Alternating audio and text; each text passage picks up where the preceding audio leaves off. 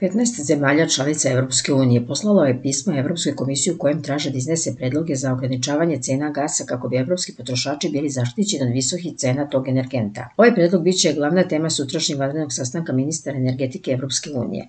Nemačka koja nije potpisnik ovog pisma smatra da će ograničenje cena gasa imati loš destabilizujući uticaj na tržište. Pismo su potpisale Belgija, Bugarska, Hrvatska, Francuska, Grčka, Italija, Latvija, Litvanija, Malta, Poljska, Portugalija, Rumunija, Slovačka, Slovenija i Španija.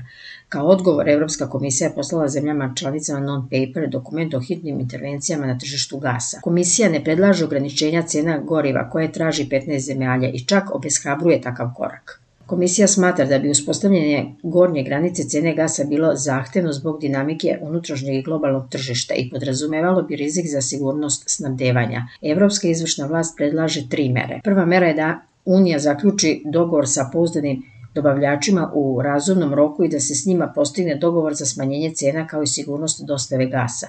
Druga mera se odnosi na postizanje ugovora s dobavljačima tečnog gasa koji zemlje članice već uzimaju od početka godine da bi se oslobodile ruske energetske zavisnosti. I ovdje komisija predlaže dugoročni ugovor s pouzdanim dobavljačima u korist obe strane, a za Uniju bi ta korist bila niža cena gasa. Treća mera također se odnosi na gornju cenu ruskog gasa, a njen cilj je da liši Rusiju prihoda. U ovom trenutku ruski gas predstavlja 9% evropske potrošnje gasa, pa neke zemlje članice misle da ova mera nije efikasna s obzirom na njen limitiran uticaj. Zemlje, članice Istočne i Centralne Evrope, one koje mnogo zavise od ruskog gasa, smatraju da ova mera može da navede Rusiju da sasvim zatvori dotok tog energenta prema Uniji.